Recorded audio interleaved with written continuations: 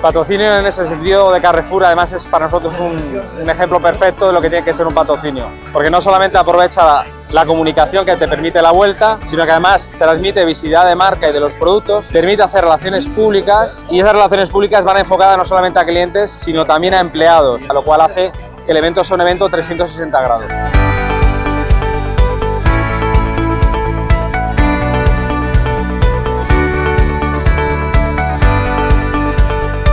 A lo largo de la Vuelta a España lo que uno descubre en distintos puntos es la variedad de, la gente, la variedad de la ropa, la variedad de, del clima, la variedad en, en, la manera de actuar y sobre todo en los puntos de encuentro pues eh, se nota el ambiente de Carrefour, se nota que la gente se pone contenta, sobre todo con la fruta que reparte, las, las cestas maravillosas.